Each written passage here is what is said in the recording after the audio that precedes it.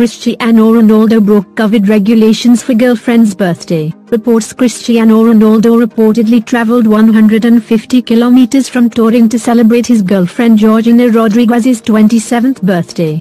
Highlights Cristiano Ronaldo reportedly broke COVID travel regulations in Italy. His girlfriend shared a video of them on a snowmobile that she deleted. Juventus declined to comment on the matter. Cristiano Ronaldo broke coronavirus travel restrictions with a trip to a mountain resort according to media reports Thursday. Juventus striker Ronaldo allegedly traveled to Como, 150 kilometers northwest of the Serie A club's Turin headquarters, for his girlfriend Georgina Rodriguez's birthday. When contacted by AFP, Juve declined to comment. Rodriguez, who turned 27 on Wednesday, apparently posted a video of the couple on a snowmobile on Instagram. She later removed it, but it was picked up by several Italian news sites. The Gazzetta dello Sport newspaper said Ronaldo and Rodriguez spent Tuesday night in a hotel and took a ride in the snow the next morning, before returning to Turin. Under current Italian coronavirus rules, the couple should not have left the town of Turin.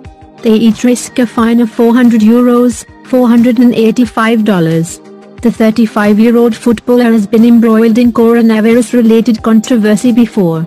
He was criticized in October for traveling to Portugal while Juventus were in isolation after two virus cases.